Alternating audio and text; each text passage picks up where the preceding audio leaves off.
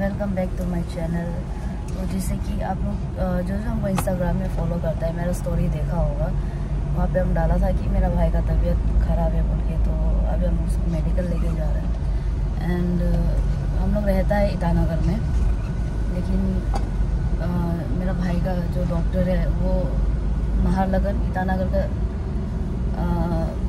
थोड़ा पास में ही है, नाहरलगन बोल के। उसको हम लोग ट्विन कैपिटल बोलते हैं। ईटानगर कैपिटल है, लेकिन उसके पास में जो नाहरलगन है, उसको हम लोग ट्विन कैपिटल बोलता है। तो यहाँ से थोड़ा दूर है तो वहाँ आता है डॉक्टर जो। एंड मेरा भाई का दो डॉक्टर है। एक डॉक्टर जिसको आज मिलने के लिए था, वो डॉक्टर का अपॉइंटमेंट कल कल मिला है। एंड अभी एक डॉक्टर का पास जा रहा है, थोड़ा जो भी उसका इशू है, उसको दिखाने के लिए। एंड पीछे जो है मेरी मम्मी एंड मेरा भाई वो लेटा हुआ है एंड ये है मेरे पिताजी ड्राइव करते हुए। और मेरा भाई का जो बीमार का डिटेल वो हम घर वापस पहुँच के अच्छे से बताएगा आप लोगों को। एंड अभी जो इसका चेकअप वगैरह करना है एंड शायद सिलाइन भी चला सकता है। बहुत कमज़ोर हो गया है। कुछ खा पी भी नहीं रहा है। जो भी खा रहा है उसको ड्यूटी में वापस जा रहा है। एंड गाइस रास्ता बहुत ख़राब है यहाँ का। और ईटानगर का हिसाब में नाहरलगन बहुत ज़्यादा गर्म है। रास्ता भी ख़राब है। एंड थोड़ा कंजेस्टेड भी है यहाँ का मतलब हाईवे का आसपास का एरिया लोग। और उसके बाद ईटानगर वाला लोग नाहरलगन आने बिल्कुल भी पसंद नहीं करते। कुछ इमरजेंसी मेडिकल का काम हो ऑफ़िस का काम हो या फिर ऐसा में ही जाता है। नहीं तो कोई भी नाहरलगन जाने पसंद नहीं करता। यहाँ का ट्रैफ़िक बहुत ख़राब था। अभी तो थोड़ा ठीक हो गया। क्योंकि अभी रास्ते जिसमें गाड़ी निकली, यहाँ से एक रास्ता हो गया। बहुत रास्ता खुल गया। तो अभी थोड़ा ठीक है, लेकिन गर्म ऑलमोस्ट ये क्या था? आसाम आसाम एरिया जैसा लगता है ज़्यादातर ऐसा होता है, क्योंकि ईटानगर के हिसाब से थोड़ा सा प्लेन है एंड बहुत ज़्यादा गर्म है यहाँ पे।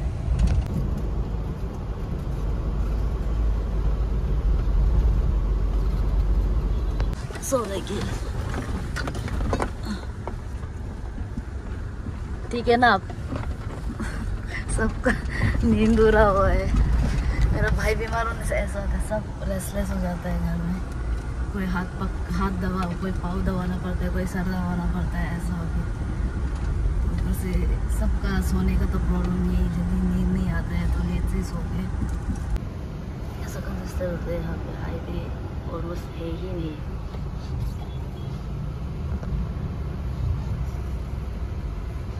आपको ये देख के भी थोड़ा फील आ रहा होगा आसाम आसाम टाइप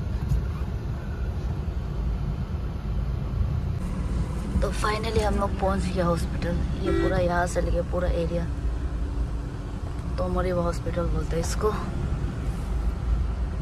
तो अभी हम लोग जा रहे हैं सेकंड फ्लोर में. यहाँ पे लिफ्ट है कि नहीं हमको आइडिया नहीं है.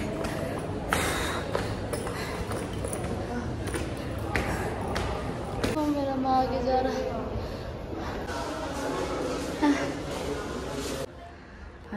डॉक्टर का केबिन में पहुँच गया रुको ना ऊपर पहुँचने तो उसके बाद लेट हो है थोड़ा रुको। पहुँच गया।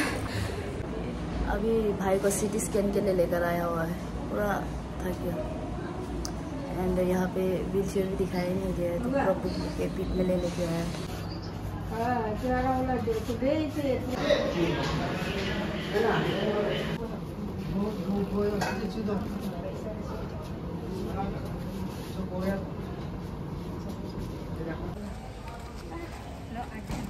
आगे जाके करो।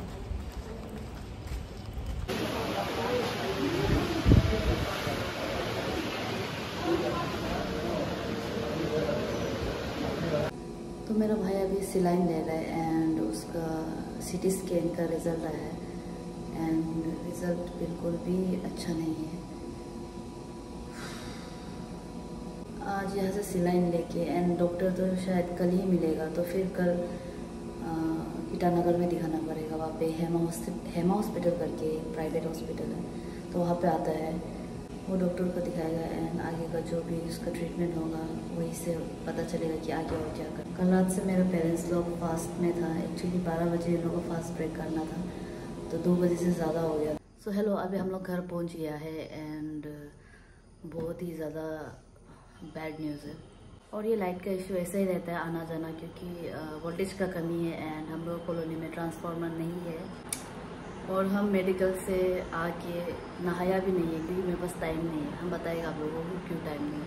हम अभी तक नहाया भी नहीं है, सुबह से कुछ खाया भी नहीं है। अभी थोड़ा सा एक बाइट पिज़्ज़ा का लिए एंड डाइट रहा है। आई नो कि अनहेल्दी है। फिर भी एमरजेंसी में ऐसे।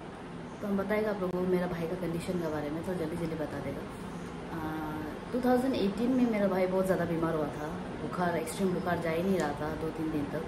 तो उसके बाद उसको हम लोग हॉस्पिटल लेके गया कि क्या हुआ बोल तो पूरा चेकअप कराने के बाद हम लोग को पता चला कि डॉक्टर ने बताया कि उसका जो हार्ट है नाइन्टी परसेंट ख़त्म हो चुका है। आप लोग जल्दी जल्दी ले जाओ चलो। एंड प्रे करो गॉड को। ऐसा बोला डॉक्टर जो अपने मुँह से ऐसा बोला। तो हम लोग बहुत ही ज़्यादा डर गया था। एंड यहाँ से हम लोग को शिलोंग भेज दिया। तो शिलोंग में पहुँचने के बाद जो नीग्रिम्स वहाँ का एक बहुत ही नॉन वाला हॉस्पिटल है, वहाँ पे हम लोग गया एंड वहाँ पे मेरा भाई का सर्जरी करवाया। एंड हम लोग का जो हार्ट में जो वेल्व बोल के होता है।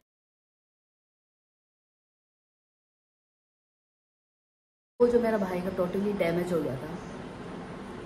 तो वो जो मेरा भाई का टोटली डैमेज हो गया था एंड उसको वो करके रिमूव करके आर्टिफिशियल रिंग लगाया। अभी भी है बोरिंग उसका अंदर में। तो वो सर्जरी करने के बाद दवाई दवाई तो उसका एकदम लाइफ टाइम का है वो खाते हैं दवाई। 2019 को फिर उसका बहुत हेडेक होने शुरू हो गया। हर समय उसको हेडेक होता था। तो फिर ये चीज़ भी हम लोगों को नॉर्मल नहीं लगा। एंड उसके बाद हम लोग उसका हेड में ब्लड क्लॉथ जमा हो रहा है ऐसा ऐसा तो फिर डॉक्टर ने फिर सेम रिफ़र किया वहाँ पे शिलोंग पे। एंड शिलोंग पे भी आईसीयू पे रहा, वो बहुत समय तक आईसीयू पे रहा। एंड उसके बाद हम फिर उसको हॉस्पिटल लेके गया एंड पूरा C T scan M R I वगैरह सॉरी एमआरआई वगैरह कराया एंड उसमें पता चला कि उसका हेड में ब्लड ग्रोथ तो वहाँ से वो ठीक होके आ गया था, दवाई ववाई भी ठीक चल रहा था, लेकिन उसको थोड़ा तो हेड होता ही था, लेकिन नॉर्मल होता था, ठीक हो जाता था। आज सुबह एक्सट्रीम उठने के साथ साथ उसका मतलब सर दर्द कर रहा है उठ के उसका उल्टी, इतना उल्टी किया, इतना उल्टी किया। तो हम सोचे थोड़ा सा ठीक हो जाएगा, उसका बाद ले जाएगा वो। तब हम स्टोरी डाला था तो हम रेडी हो चुका था हॉस्पिटल जाने के लिए। तब उसका उल्टी को थोड़ा नॉर्मल होने दे के ले जाएगा बोल के उसका बाद आज दिन भर का आप लोग आगे क्लिप देखा ही होगा, ऐसा हो गया एंड पूरा थक गया। और वहाँ पे चेकअप करा के सिलाइन वगैरह लेके, वहाँ पे फिर सीटी स्कैन कराया। सीटी स्कैन का रिपोर्ट आया। एंड सीटी स्कैन का रिपोर्ट आने का बाद डॉक्टर ने देखने का साथ, और हम रिपोर्ट दिखाएगा आपको।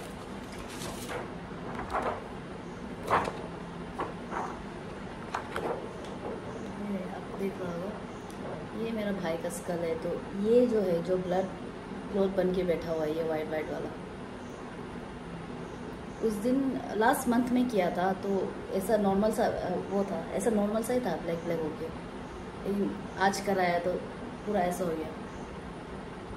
तो वहाँ से नाहरलगन से हम लोग वापस ईटानगर में आर के मिशन में आया।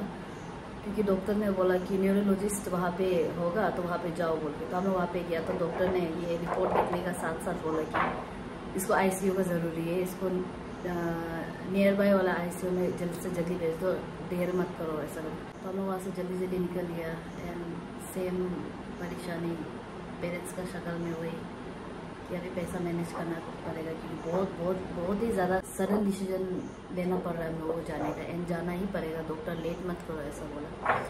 तो वही मम्मी अभी बाहर गया हुआ है थोड़ा लोन वोन का ऐसा पूछने के लिए क्योंकि ओबियसली इसमें थोड़ा खर्चा नहीं जाएगा तो हम लोगों को पता है कितना खर्चा जाता है इसमें।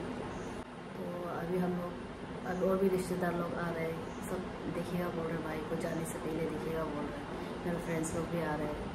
तो उसके बाद हम लोग डिनर विनर करके आज का रात ही निकल जाएगा। And I am very sorry क्योंकि हम बहुत ही जल्दबाजी में और मेरा बहुत मुँह जो मतलब क्लियर से नहीं बोल पा रहा है जल्दी जल्दी का कारण में मतलब आप लोग समझ में भी नहीं आया आया होगा कोई कोई बात तो आज रात ही हम लोग निकल जाएगा। कल जाके भाई को डायरेक्ट एडमिट करवाएगा एंड अपडेट्स देते रहेगा आप लोगों को पे क्या हो रहा है, मेरा ब्लॉग्स आप लोग देखते रहिए। एंड हम फिर लास्टली यही बोलेगा कि आप लोग सोचो, ऐसा मत सोचो कि वही कि ये क्या यूज़ के लिए ऐसे सफ़ाई कर रही ऐसा कुछ भी नहीं है। क्योंकि हम लोग को मतलब जो हार्ट पेशेंट है ये सब है, हम लोग को मतलब हम लोग का माइंड सेट जो ऐसे है कि हम लोग को कभी भी रेडी रहना पड़ सकता है, ऐसा है। तो नहीं बोल सकते हैं। तो हम चाहते हैं कि सिर्फ़ ब्लॉग नहीं होके आप लोगों को थोड़ा एजुकेशनल वे में भी दिखाएगा कि वहाँ क्या होता है, वहाँ का हॉस्पिटल कैसा है, मेरे भाई का इलाज कैसा हो रहा है। शायद आप लोगों को भी आइडिया मिल जाए किस चीज़ के बारे में। तो प्लीज़ अपना प्रेयर में आप जो भी धर्म का हो, जो भी भगवान को मानता हो प्लीज़ प्रे कीजिएगा मेरे भाई का जल्दी रिकवरी के लिए। या एंड हम लोग को पता है अच्छा से नहीं बताया फिर भी। प्रे कीजिएगा हम लोगों के एंड हम लोग सेफ़ जर्नी के लिए। And thank you so much उन लोगों को जिस जिसने मैसेज करके मेरा भाई के लिए विशेष भेजा है। Thank you so much I really appreciate it thank you so much तो चलिए thank you so much blog का तक रहने के लिए एंड मेरा जो भी दिखाया वाला, बताया वाला बात सुनने के लिए। तो चलिए, मिलते हैं नेक्स्ट ब्लॉग में।